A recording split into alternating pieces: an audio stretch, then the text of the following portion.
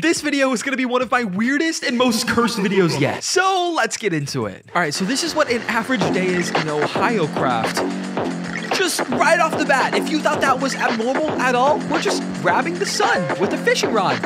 And did he just I'm, I'm sorry, pause. Steve just turned into the Ender portal. Not only that, did he just drink lava? We are literally only 10 seconds in and my brain is already exploding. All right, so it looks like we're just feeding a chicken some seeds. Why, why is the chicken that big?